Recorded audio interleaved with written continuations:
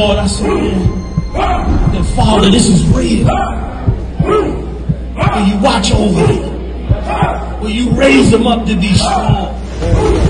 I don't, I, I'm just a man with flesh. This is what you call for in your scriptures. You said they wore studs and fringes, they got it on. You said they will follow the law, they doing it. You said they ought to love one another. And they doing it.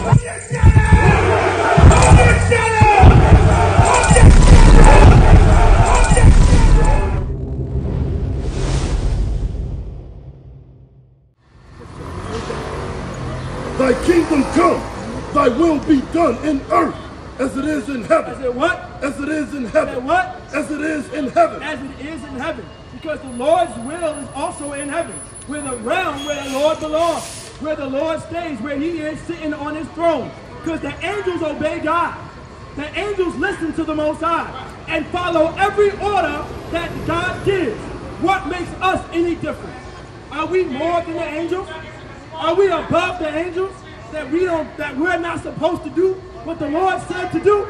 Then how did we come to the conclusion that we were supposed to do what we wanted to do and not what Lord and not what God wanted? That's because of the Christian church. That's because of your pastors. Give me Deuteronomy chapter 6, verse 24 because of Christianity and because of those pastors and because of the deacons, because of the evangelists, because of those, uh, because of the mothers in that church and uh, and the first ladies and the first gentlemen. All right, because of that is why we don't understand how to keep the laws of God, which is the will of God. You understand? We have to learn how to not do our own will. And I understand since the day that you are born, if you are black, Hispanic, and Native American, since the day that you are born, you are taught to be yourself. You are taught to do what you want to do. You are you are taught that you're supposed to have everything that you ever asked for and everything that you ever wanted.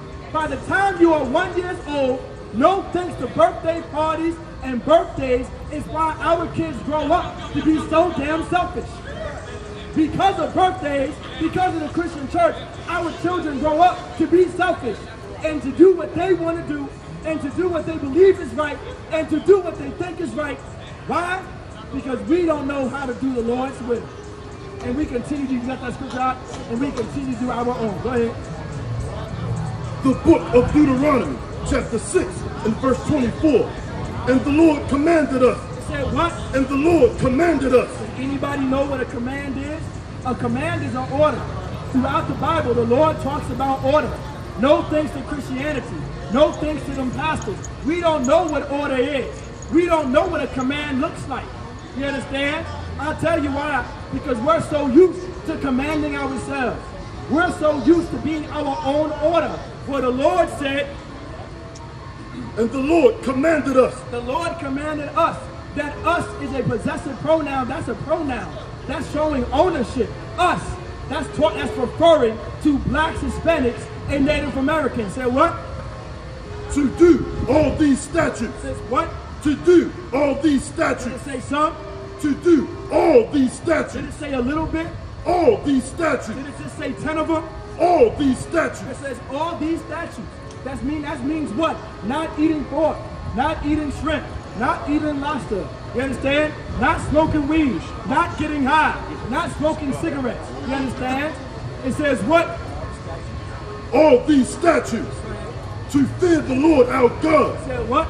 To fear the Lord our God. How many of us knew that it was a law in the Bible to fear the Most High? You will never obey God unless you fear God. Let me break it down to you. You would never listen to daddy, and you would never you would never listen to mommy unless you feared daddy or you feared mommy. A lot of us grew up under mommy, you understand? And some of us grew up under daddy. And they both had belts in their hand. And that belt was to represent if you did not what I said, you was going to get hit. You was going to get whooped. And that's what developed fear. Well, guess what? The Lord wants us to understand fear is the beginning of his understanding. Fear is knowing that when you eat pork, there are consequences that come with it. If you are a man that decides to lay down with another man, there are consequences to that behavior. If you are a woman, and thank you, brother. Thank you, brother. I appreciate that, brother. You understand? Gang, also grab a flyer from the table right here. Go ahead and grab a flyer. If you are a woman that decides to lay down with another woman, there are consequences to that behavior. There are consequences to that type of conduct. And said what? And the Lord commanded us to do all these statutes, to fear the Lord our God, Go ahead. for our good always, Said what? for our good always, Says what? for our good always. For Our good always. Because this was something good. The law is good. The statutes and the commandments of God is good. I know you seeing it to be evil. No thanks to them pastors. Eating. So if I tell you to not eat pork, you look at me as I'm- got four heads and four eyes, and I must be some evil individual because I'm telling everybody you were never supposed to eat pork. You was never supposed to eat the lobster. You were never supposed to get tattoos. You were never supposed to get shake-ups. You were never supposed to vote. All of this looks evil when I tell you. But the Lord said, For our good always, for this is going to be our good always. Go that he might preserve us alive, Said what? that he might preserve us alive, Said what? that he might preserve us alive. Because the Lord understood. And the Lord knows how to preserve. You understand? Does anybody know what it means to preserve? It means to keep alive. It means to keep in a certain state, to be healthy and to be alive. That's what it means to preserve. Well, if you keep the laws of God, if you decide, if you if you listen to the Most High to not to, to keep like to keep His commandments, you will preserve your life. You will live longer on this earth. You will live a long life. You understand?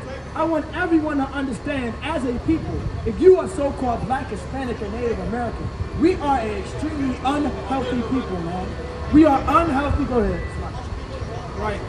And what, what, the, what the brother said is totally right, man. It's about the, the most high, God's laws preserves our life, man. I, I, I always see I always see a young girl, and I always see a single mother, and I see a transition from uh, from our woman from teenage years to adults in the, in the early 20s to the 30s, and how if she does not preserve her life, she destroys herself, man. If she does not get with her father, and her father help her pick the right man, she goes in a long life of being single, being a single mother. Ways they don't have to be like that. And also with brothers. And uh, and also too, that mother needs a father to raise them boys. So black man, we gotta step up and raise our sons. And black women, you gotta know to let that man, let that father do his job. And you gotta know how to pick right. You only gonna learn how to pick right, black women, from your father, from your uncle, man. And moreover, to the ISUPK, find a man of God to help you pick a man so you have a right family, man. That's what it's all about.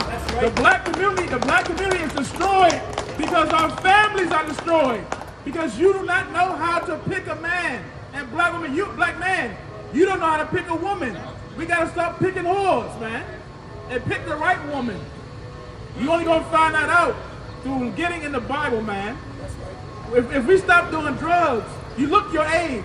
Look how many people are young and do drugs and look old and about to fall apart. And how many how many young people in teenage years and early 20s died because of drugs? That is not preserving your life. That is the uh, exact opposite. Same-sex marriage, you are not preserving your life. There's too many dangerous diseases to, have same-sex marriage. And it's too many, it's too, you are not preserving your life. If you're being loose and having sex with everybody, anything on everything, you are not preserving your life. Disease will come. You will get sick and you will slowly die or die right away. What this brother's bringing out is the truth. God laws will help us preserve our life. God has a diet. You can eat certain things. We gotta get rid, we got we gotta get rid of this lie. Talk about okay, Let us go to prayers, man. We got to get rid of this lie in the black community saying, oh, my grandfather had cancer, so I got cancer. And my and I had diabetes, and my grandmother had diabetes. No, it don't run in our family. It's what we're, it is what we're eating, man. Follow God's laws, and let's preserve our life, our physical, and more important, let's preserve our spiritual, man. Go ahead, brother. Give that police officer a powerful hand. That was real heavy what that brother was bringing out. It's absolutely important to preserve our lives if we are so-called black, Hispanic, and Native American. Continue reading, brother. the book of Deuteronomy, chapter 6 and verse 24. And the Lord commanded us to do all these statutes, to fear the Lord our God. Verse 25. And that should be our righteousness. Said what? And it shall be our righteousness. It says the law should be our righteousness. Does anybody know what righteousness means? Because of Christianity, we don't know what it means to be righteous. Well, righteousness is a behavior that's acceptable by God. That's what righteousness is. Because it was absolutely imperative that we were supposed to behave ourselves and conduct ourselves that was acceptable to the Most High. And eating pork is not acceptable to the Most High. Eating shrimp and lobster is not acceptable to the Most High. Right. Selling drugs, smoking weed and getting high is not acceptable to the Most High. Getting tattoos and shape-ups is not acceptable to the Most High. Unaliving your brother for whatever unreasonable reason it is is not a behavior that's acceptable to the Most High. The Lord is about behavior. The Lord is about conduct. and there is a proper conduct that we're supposed to live by. There's a proper behavior that we're supposed to live by. And the Lord said it's the law. And the law is our righteousness. Right. Verse 25, and it shall be our righteousness if we observe to do all these commandments. That we do what? All these commandments. That we do all these commandments. That's what our righteousness is. That's our behavior. That's our conduct. Right. Not eating pork is a conduct. Right. Not eating shrimp and lobster is a behavior.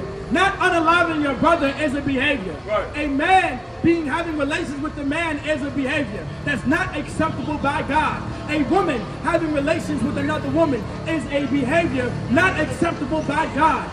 Voting for Democrats and Republicans is not a behavior that's acceptable by God. And that's something we have to understand. And you can only learn this right here in the Israelite schools of universal practical knowledge under Commander General Yahanna. All right? And with that being said, you understand? With the Israelite School of Universal Practical Knowledge, started out at 1 West, 125th Street, Harlem, New York, under Commander General Yahanna. And we're not affiliated with any other Israelite group nor any other Christian organization. Shalom, Israel. That's right.